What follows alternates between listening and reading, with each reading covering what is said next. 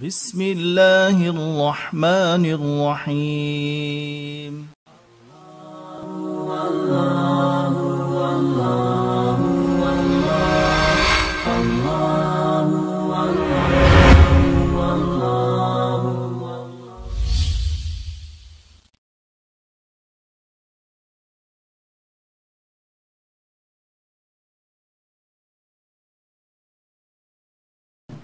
السلام عليكم ورحمة الله وبركاته وعليكم السلام ورحمة الله وبركاته എല്ലാവർക്കും സുഖം തന്നെയാണല്ലോ الحمد لله സുഖമാണ് ആർക്കെങ്കിലും എന്തെങ്കിലും ബുദ്ധിമുട്ടുകളോ അസുഖങ്ങളോ ഉണ്ടെങ്കിൽ അള്ളാഹു പൂർണ്ണമായി ഷിഫ ചെയ്ത് നല്ല ആരോഗ്യം പ്രദാനം ചെയ്യുമാറാവട്ടെ അതുപോലെ തന്നെ കുടുംബജീവിതത്തിലും അള്ളാഹു സുബഹാനുവത്താൽ ഐശ്വര്യവും സമാധാനവും വർഷിക്കുമാറാവട്ടെ ആമീൻ കഴിഞ്ഞ ക്ലാസ്സിൽ പഠിച്ച പാഠഭാഗങ്ങൾ മുഴുവനായും എല്ലാവരും ഉസ്താദിനെ കേൾപ്പിച്ചിരുന്നല്ലോ? മാഷാല്ല നല്ല കുട്ടികൾ. നമുക്കിന്ന് പാഠം ആരംഭിക്കാം. ഖുർആൻ നൂറാനി കായിദ. എന്താ കായിദ എന്ന് പറഞ്ഞാൽ? പരിശുദ്ധ ഖുർആൻ പാരായണ പരിശീലനത്തിന്റെ പ്രാരംഭ പാഠങ്ങൾക്ക് കായിക എന്ന് പറയുന്നു. ഖുർആൻ നോക്കി ഓതുന്നതിന് നാളിറ ഖുർആൻ എന്ന് പറയുന്നു. കഴിഞ്ഞ ക്ലാസ്സിൽ നമ്മൾ പഠിച്ചത് പാഠം രണ്ട് നൂൻ കുത്തുനി എന്നതിനെ കുറിച്ചാണ്. എല്ലാവർക്കും അത് മനസ്സിലായിരുന്നല്ലോ? അതെല്ലാരും പഠിച്ചു ഉസ്താദിനെ കേൾപ്പിച്ചിരുന്നോ? അതിന്റെ ഉദാഹരണങ്ങൾ ശരിക്കും മനസ്സിലാക്കിയിരുന്നോ? മാഷാ നൂൻ കുത്തിനി എന്ന് പറഞ്ഞാൽ പരിശുദ്ധ ഖുറാനിലെ ചില സ്ഥലങ്ങളിൽ ചെറിയൊരു നൂൻ എഴുതപ്പെടുന്നുണ്ട്.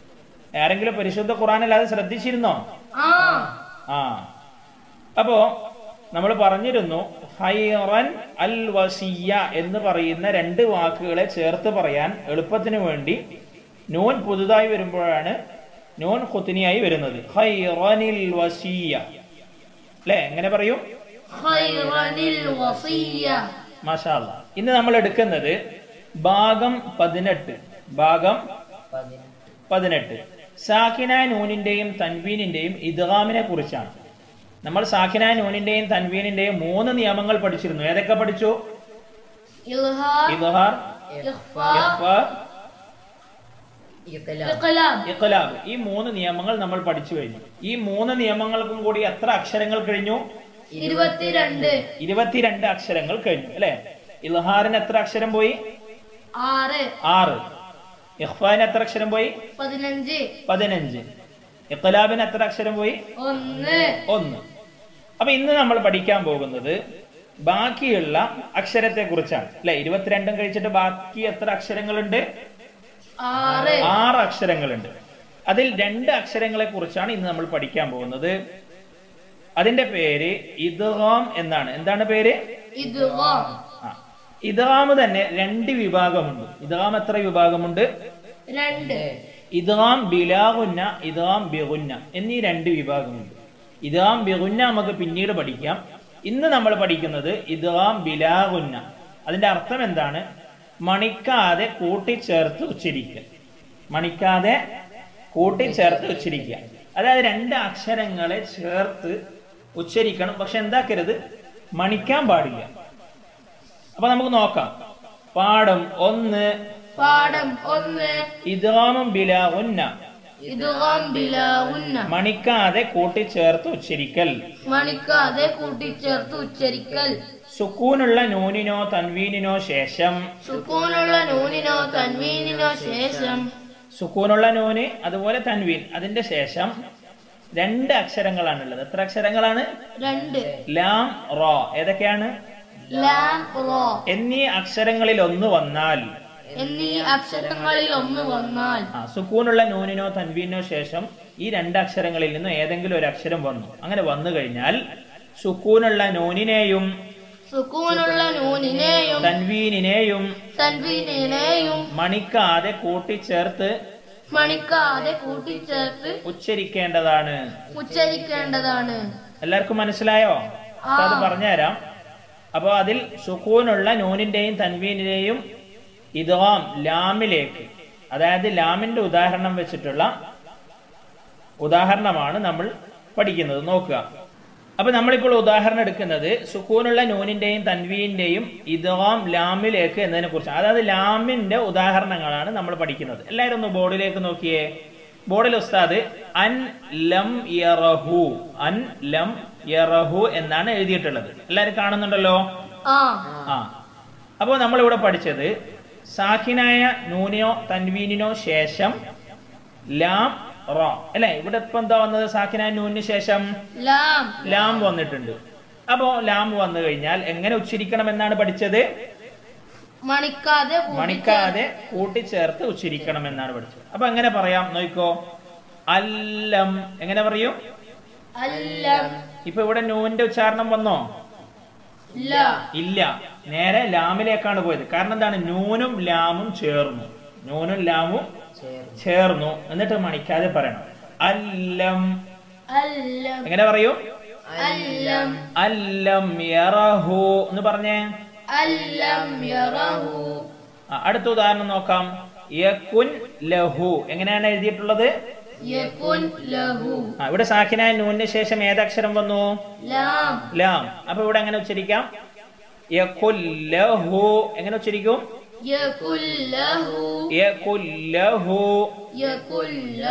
അടുത്ത ഉദാഹരണം നോക്കാം. മിൻ ലദുൻഹു. എങ്ങനെ എഴുതിയിട്ടുള്ളത്? മിൻ ലദുൻഹു. ഇത് ചേർത്ത് വായിക്കുമ്പോ എങ്ങനെ വായിക്കും വായിക്കുമെന്ന് വായിച്ചേ? മാഷാല്ല ഒന്നും കൂടി പറഞ്ഞേ. അടുത്ത ഉദാഹരണം നോക്കാം. റിസ്ഖൻ ലക്കും. എങ്ങനെ എഴുതിയിട്ടുണ്ടത്? ആ ചേർത്ത് വായിക്കുമ്പോ എങ്ങനെ വായിക്കും? ആ ശരിക്കും റിസ്ഖൻ എന്ന് പറയുമ്പോൾ ഒരു നൂന്റെ സൗണ്ട് വരും അല്ലെ? തൻവീന്റെ. അപ്പൊ അത് ലാമിലേക്ക് ചേർന്നു. അടുത്തത് കുല്ലുല്ലഹു കുല്ലുല്ലഹു എല്ലാരും കാണുന്നുണ്ടല്ലോ? കുല്ലുൻ ലഹു എന്നാണ് എഴുതിയിട്ടുള്ളത്. പക്ഷെ നിങ്ങൾ ചേർത്ത് വായിക്കുമ്പോ കുല്ലുൻ ലഹു. അടുത്ത ഉഫിൻ ലഖും. എന്താ എഴുതിയിട്ടുള്ളത്? ഉഫിൻ ചേർത്ത് വായിക്കുമ്പോ ഉഫിൽ ലഖും. പറഞ്ഞ ഒന്നുകൂടി? ഉഫിൻ മാഷാദ ഇതെങ്ങനെ ഹിജ്ജ് ചെയ്യാം? പിരിച്ചു വായിക്കാം എന്ന് നമുക്ക് നോക്കാം. അല്ലം യറഹു എന്നുള്ളത് എങ്ങനെ വായിക്കാം? നമ്മുടെ ഉച്ചാരണം പോലെ തന്നെയാണ്. നമ്മളെ എഴുത്ത് പ്രകാരമല്ല ഉച്ചാരണം പോലെ തന്നെയാണ് പിരിച്ചു വായിക്കേണ്ടത്. അപ്പൊ ഉസ്താദ് വായിച്ചു തരാം ശ്രദ്ധിക്കുക. ഹംസ ലാം ഫത്ഹ അൽ ലാം മീം ഫത്ഹ ലം അല്ലം നൂന്നെ പറഞ്ഞോ? ഇല്ല കാരണം നൂന്റെ ഉച്ചാരണം അവിടെ ഇല്ലാത്തത് കൊണ്ടാണ്. സോ ഒന്നും കൂടി പറയാം ശ്രദ്ധിക്കുക. ഹംസ ലാം ഫത്ഹ അൽ ലാം മീം ഫത്ഹ ലം അല്ലം യാ ഫത്ഹ യ അല്ലം യ. റോ ഫത്ഹ റ അല്ലം യറ. ഹാ നീട്ട ലമ്മഹു അല്ലം യറഹു. ശ്രദ്ധിച്ചോ എല്ലാവരും? ഇനി നമുക്കൊരു തൻവീനിന്റെ ഉദാഹരണം നോക്കാം. ഉഫിൻ ലക്കും. ശ്രദ്ധിക്കുക ഉഫിൻ ലക്കും എന്നാണുള്ളത്. അപ്പൊ പിരിച്ചു വായിക്കുന്നത് ശ്രദ്ധിക്കുക. ഹംസ ഫ വമ്മ ഉഫ്. ഫ ലാം കസറ ഫിൽ. അവിടെ ശ്രദ്ധിക്കേണ്ടത് ഫ ലാം കെസറാണ് പറയുന്നത്. കാരണം എന്താ? കെസറിന്റെ ഉച്ചാരണം മാത്രമേ അവിടെ വരുന്നുള്ളൂ. തൻവീന്റെ ഉച്ചാരണം വരികയില്ല ചേർത്ത് പറയുമ്പോൾ. അപ്പൊ ഫ ലാം. അപ്പൊ ഒന്നും കൂടി ശ്രദ്ധിക്കുക ആദ്യത്തിനെ. ഹംസ ഫ വമ്മ ഉഫ്. ഫ ലാം കസറ ഫിൽ. ഉഫിൽ ലാം. ഫത്ഹാല ഉഫില്ല കാഫ് മീം ലമ്മാക്കും ഉഫില്ലക്കും മനസ്സിലായോ എല്ലാവർക്കും? മാഷാല്ല അടുത്ത് നോക്കാം. സുക്കൂനുള്ള നൂനിന്റെയും തൻവീനിന്റെയും ഇതാം റോ ഉദാഹരണം വെച്ചിട്ട്. ഏതിന്റെ ഉദാഹരണം? റായുടെ ഉദാഹരണം. ഇല്ലാമൻ റഹീമ. എല്ലാരും ശ്രദ്ധിക്കുന്നുണ്ടല്ലോ? ഇല്ലാമൻ റഹിമ. സാക്കിന ഏത് ഏതക്ഷരം വന്നു? റ. റ വന്നു. അപ്പൊ ഇവിടെ ചേർത്ത് പറയുമ്പോ മർ റഹിമ എന്ന് പറയാം. ഇല്ല മർ റഹിമ. എങ്ങനെ പറയൂ? ഇല്ലാ മർ റഹിമ. ആ അടുത്ത ഉദാഹരണം നോക്കാം. അൻ റഅാഹുസ്തഗ്ന എന്നാണ്. അൻ റഅാഹുസ്തഗ്ന അപ്പൊ ചേർത്ത് പറയുന്ന സമയത്ത് അർറ നൂന്റെ ഉച്ചാരണം വരികയില്ല. അർറഅാഹുസ്തഗ്ന എന്ന് പറഞ്ഞേ? അടുത്ത ഉദാഹരണം നിങ്ങൾ തന്നെ പറഞ്ഞോളൂ. ആ ബോർഡിൽ എന്താണുള്ളത്? ചേർത്ത് പറയുമ്പോൾ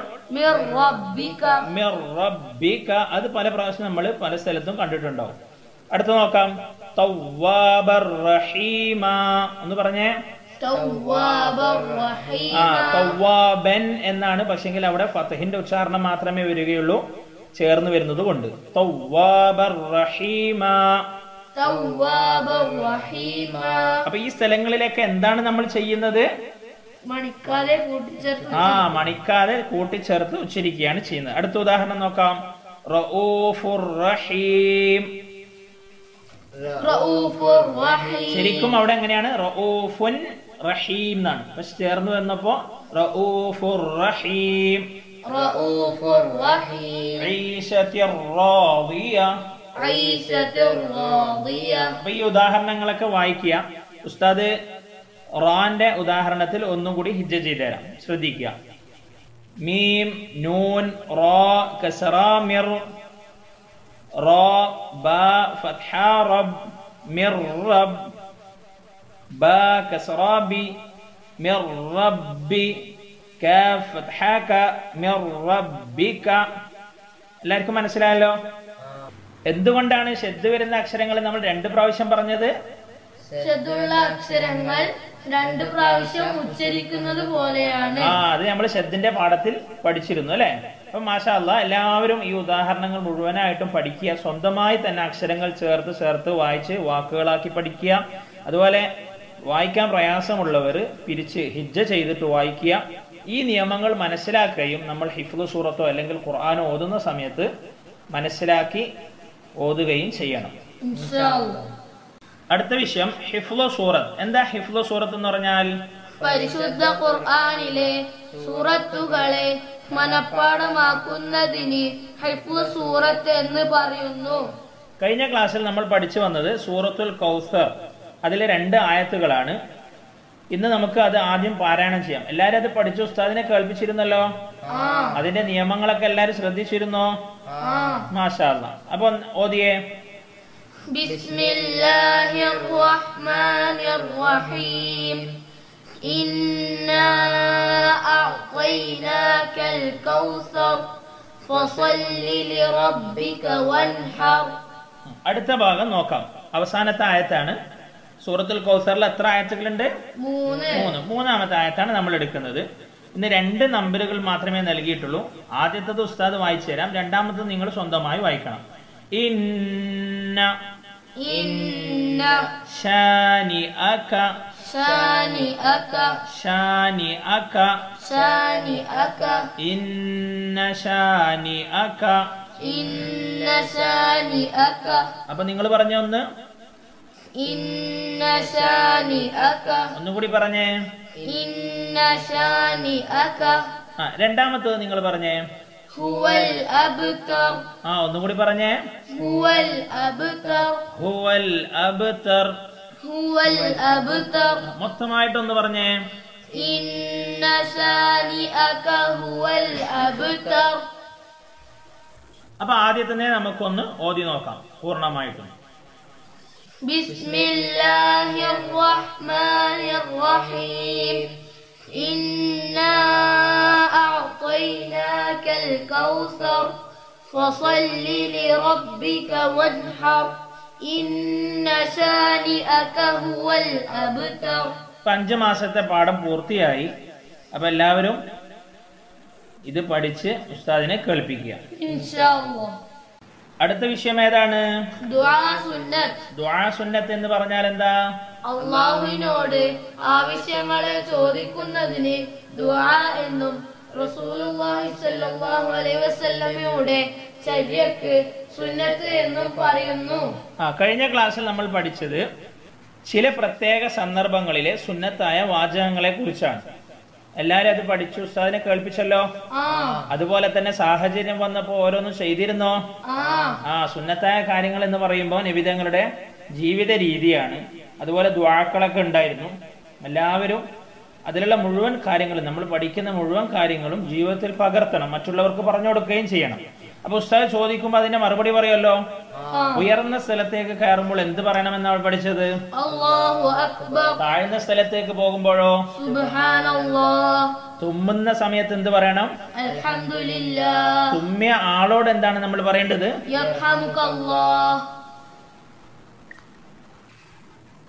പിന്നെ നമ്മൾ അടുത്ത കഴിഞ്ഞ ക്ലാസ്സിൽ പഠിച്ചത് എന്തെങ്കിലും കാര്യം ചെയ്യാൻ ഉദ്ദേശിച്ചാൽ എന്ത് പറയണം? എന്ത് പറയണം? അങ്ങനെയുള്ള സാഹചര്യം വന്നിട്ടുണ്ടോ ആർക്കെങ്കിലും എല്ലാരും പറയാറുണ്ട് അല്ലേ ആ. ഒരു വസ്തുവിനോട് ഇഷ്ടം തോന്നിയാൽ എന്ത് പറയണം? മാഷാ. ഇന്ന് നമ്മൾ പഠിക്കുന്നത് അഞ്ചാം മാസത്തെ അവസാനത്തെ ഒരു കാര്യം കൂടിയാണ്. എല്ലാരും ശ്രദ്ധിക്കുക. കോപമുണ്ടായാൽ. എല്ലാവർക്കും ദേഷ്യം പിടിക്കാറുണ്ടല്ലോ? ആ ദേഷ്യം പിടിക്കാത്ത ആരുമില്ല അല്ലെ? എല്ലാവർക്കും ദേഷ്യം പിടിക്കും. ചെറിയ കാര്യങ്ങൾക്ക് പോലും ദേഷ്യം പിടിക്കുന്നവരാണ് ഓരോരുത്തരും. ആരും ദേഷ്യം പിടിക്കരുത്. ദേഷ്യം പിശാചിൽ നിന്നും ഉണ്ടാകുന്നതാണ് ഷെയ്ത്താനിൽ നിന്നും ഉണ്ടാകുന്നതാണ്. അതുകൊണ്ട് ആരും ദേഷ്യം പിടിക്കരുത്. ദേഷ്യം പിടിക്കുന്ന സമയത്ത് എന്ത് പറയണം എന്നുള്ളതാണ് പറയുന്നത്. കോപമുണ്ടായാൽ എന്ത് പറയണം? എന്ത് പറയണം? എന്താണ് അതിന്റെ അർത്ഥം ഒന്ന് വായിച്ചേ?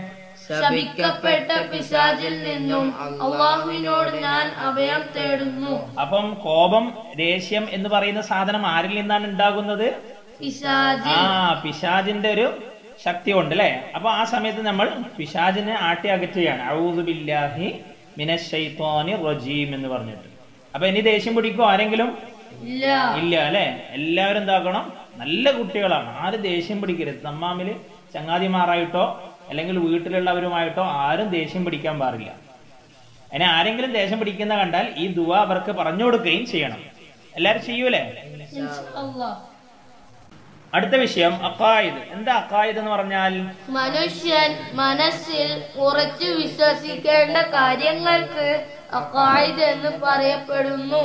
കഴിഞ്ഞ ക്ലാസ്സിൽ നമ്മൾ പറഞ്ഞത് കലിമത്ത് തൗഹീദാണ്. അതെല്ലാവരും പഠിച്ച് ഉസ്താദിനെ കേൾപ്പിച്ചിട്ടുണ്ടാവും. കാരണം നമ്മൾ രണ്ട് മൂന്നാഴ്ചയായിട്ട് ആ പാഠം തന്നെയാണ് നമ്മൾ പഠിച്ചുകൊണ്ടിരിക്കുന്നത് എല്ലാവരും കേൾപ്പിച്ചല്ലോ മുഴുവനായിട്ടും? ആ. മാഷാല്ല ഇന്നത്തെ നിങ്ങളോട് പറയുന്നത് ആവർത്തനമാണ്.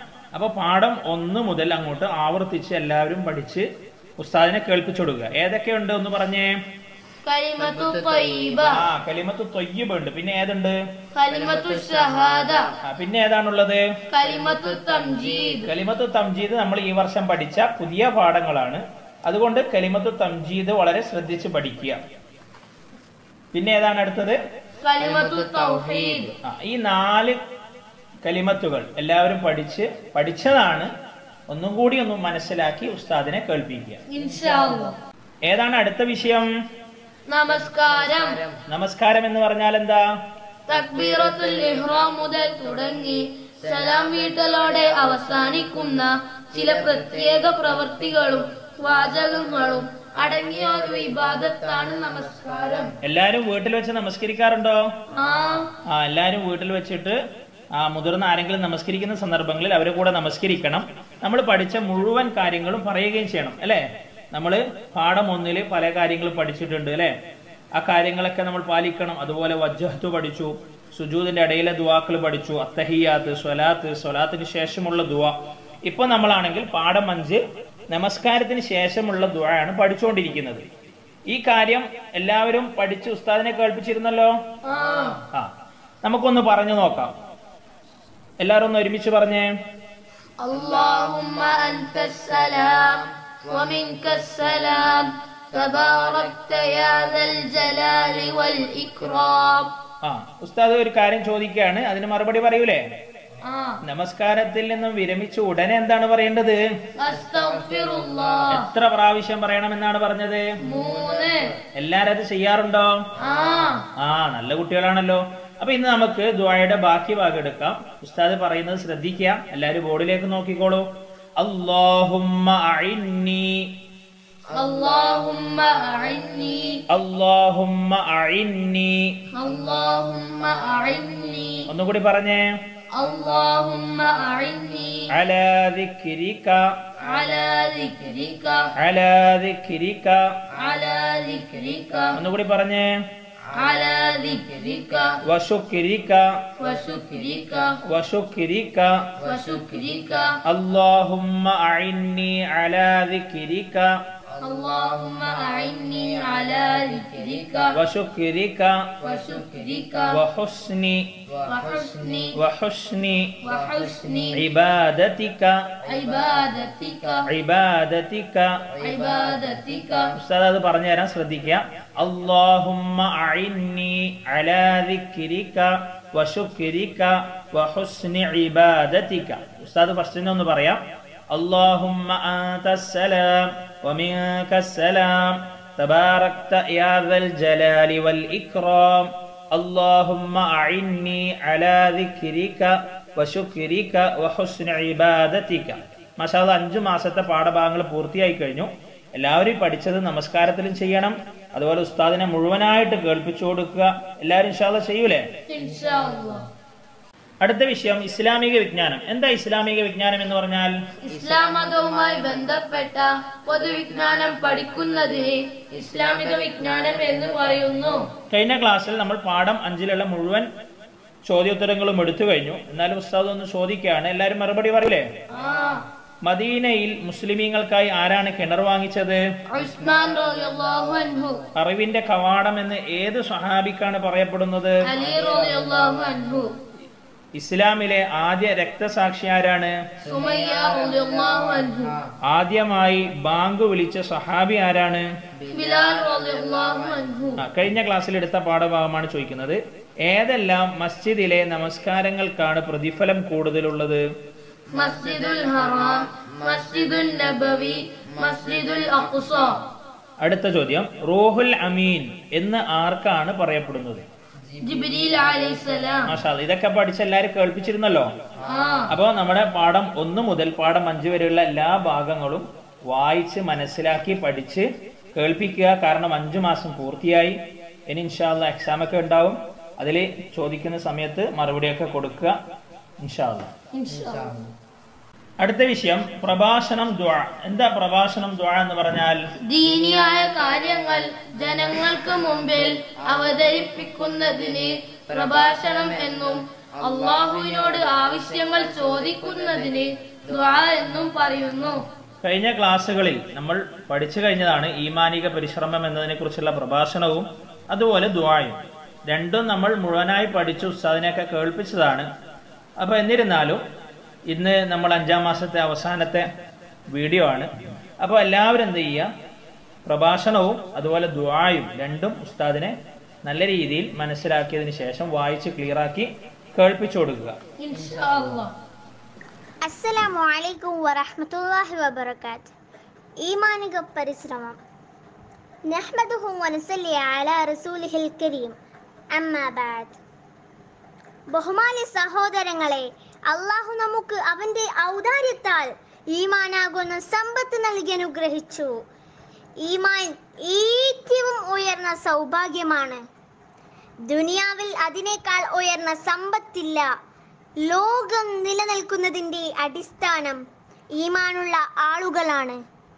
ഭൂമിയിൽ അള്ളാഹുവിന്റെ നാമം സ്മരിക്കുന്ന മുസ്ലിമീങ്ങൾ ആരും ഇല്ലാതാകുമ്പോൾ അള്ളാഹു ഭൂമിയെ നശിപ്പിക്കുന്നതാണ്. സഹോദരങ്ങളെ ഈമാൻ നാം പഠിക്കേണ്ട കാര്യമാണ്. നാം ഈമാൻ ശരിയായ നിലയിൽ മനസ്സിലാക്കുകയും അതിന്റെ യാഥാർത്ഥ്യം നമ്മുടെ ഹൃദയങ്ങളിൽ ഇറങ്ങുകയും ചെയ്താൽ ദീനിയായ ഓരോ കാര്യങ്ങളും എളുപ്പമാകുന്നതാണ്. ഇല്ലെങ്കിൽ അവ പ്രയാസകരമായി അനുഭവപ്പെടുന്നതാണ്.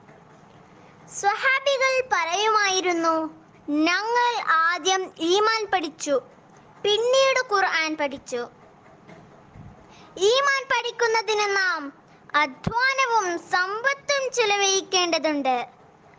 അതിൽ വരുന്ന ത്യാഗങ്ങൾ നാം സന്തോഷത്തോടെ സഹിക്കണം.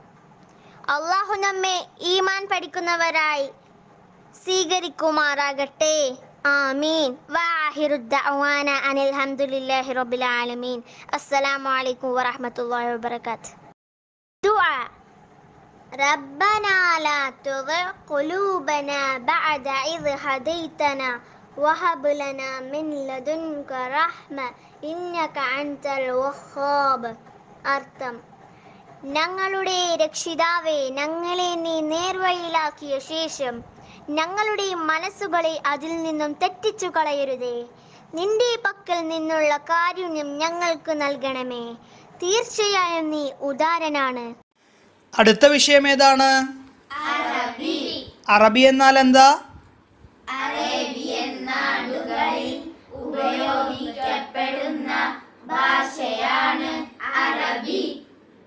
അറബിയിൽ നമ്മൾ പാഠം ഏഴാണ് ഞാൻ പഠിക്കാൻ പോകുന്നത്. ഇഴജന്തുക്കൾ അസ്സവാഹിഫ്. ഇഴജന്തുക്കൾക്ക് എന്താ അറബിയിൽ പറയുക? അസ്സവാഹിഫ്. ഇഴജന്തുക്കൾ എന്ന് പറഞ്ഞാൽ ഇഴഞ്ഞു പോകുന്നവ. ഇഴജന്തുക്കളിൽപ്പെട്ട കുറച്ച് ജീവികളുടെ വാക്കുകൾ അറബിയിൽ നമുക്ക് പഠിക്കാം. അതിലൊന്നാമത്തേത് പാമ്പ്. പാമ്പിന് അറബിയിൽ പറയുന്നത് ഹയ്യത്ത്. പാമ്പ്. അടുത്തത് മുതല. മുതലക്ക് എന്താണ് അറബിയിൽ പറയുക? തിംസാഹ്. തിംസാഹ്. എല്ലാവരും മുതലയെ കണ്ടിട്ടുണ്ടോ? അടുത്തത് ആമ. ആമക്ക് പറയുന്നത് സുലഹ്ഫാത്ത്. സുലഹ്ഫാത്ത്. അടുത്തത് ഉടുമ്പ്. ഉടുമ്പിന് എന്താ പറയുക? ലബ് ഉടുമ്പ് ലബ് അടുത്തത് പല്ലി. പല്ലിക്ക് പറയുന്നത് വസഗ. വസഗ. അപ്പൊ നമ്മൾ അഞ്ച് പദങ്ങൾ പഠിച്ചു. നമുക്കൊന്ന് ആദ്യം മുതൽ പറയാം. പാമ്പ്. ഹയ്യത് മുതല. ആമ. സുലഹ്ഫാദ് ഉടുമ്പ്. പല്ലി. മാഷാ അല്ലാ നമ്മൾ ഈ പഠിക്കുന്ന പദങ്ങളൊക്കെ നമ്മൾ അറബിയിൽ തന്നെ ഉപയോഗിച്ച് പരിശീലിക്കണം കേട്ടോ. ഇന്നത്തെ നമ്മുടെ ക്ലാസ് അവസാനിച്ചു. ജസാക്കല്ലാഹു ഖൈറ.